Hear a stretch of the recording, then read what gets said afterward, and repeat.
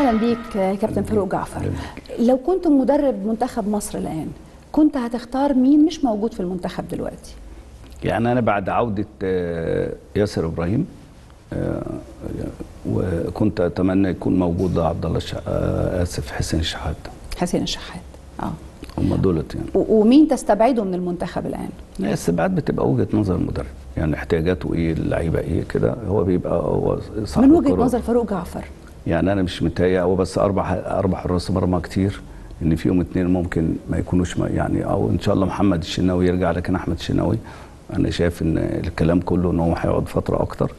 فكنت أتمنى إن هو عندنا حراس مرمى كان عواد آه، كان ممكن يبقى رابع آه، لكن في حراسة المرمى ما فيهاش مجازفة وما فيهاش حاجة اسمها إن أنا أجيب حارس مرمى وأنا حاسس إن هو ممكن ما يلعبش. طب ليه؟ طب أنا اشيل هم ليه؟ و...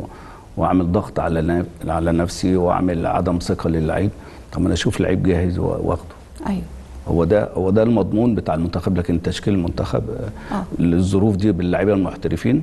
مناسبة. توقعاتك إيه لأداء المنتخب الفترة اللي جاية؟ لازم نبقى عندنا الدوافع المعنوية والنفسية وإن إحنا عندنا إرادة النصر تبقى هي صاحبة القرار في في المباريات.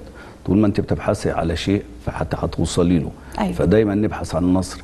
ما نفكرش نقول إحنا عايزين نطلع الأول في المجموعة ولا الثاني في المجموعة.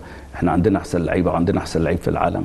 أيوة. لازم هو هيدينا الدعم ويدينا الثقة إن إحنا كمشاهدين إن إحنا نقدر نتكلم وإحنا قلبنا مستريح إن محمد صلاح مر بظروف أصعب أصعب أصعب 100 مرة من البطولات دي فإن شاء الله ربنا يوفقه ووقف ووفق ال- ال- الأجهزة الفنية. واللعيبة. كلها الفترة اللي جاية ويقدم لنا أحسن شيء يعني يبقى منتج جيد للكرة المصرية في الفترة اللي جاية إن شاء الله شاء رأيك. في فيتوريا إيه آه، أنا أنا وجهة نظري آه.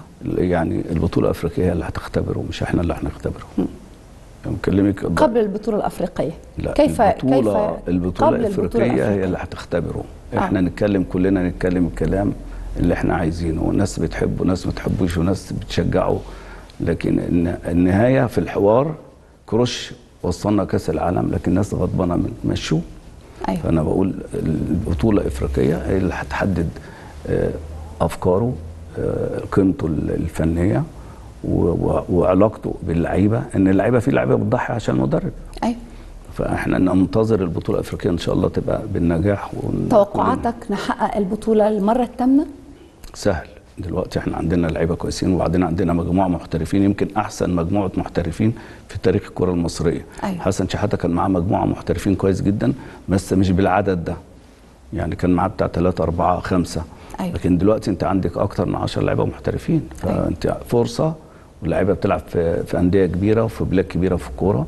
آه، متعودين يلعبوا خارج الملعب متعودين يلعبوا مع على جماهير مش عارفين اللغة اللي هم بيتكلموا بيها والجماهير بتبقى كتير اتعودوا على كده. آه، هم بيتدربوا وما بيعملوا له اعداد النفسي قبل المباراة وتحضير للمباراه ما عندوش هدف غير هدف واحد هو رايح له هو المكسب. فلو إحنا آه، وصلنا ال- ال- الشعور ده أو اللحظة دي بتاعه المكسب للعيبة اللعيبة هت- هتأدي إن شاء الله بشكل كويس وهنكسب إن شاء الله. إن شاء الله.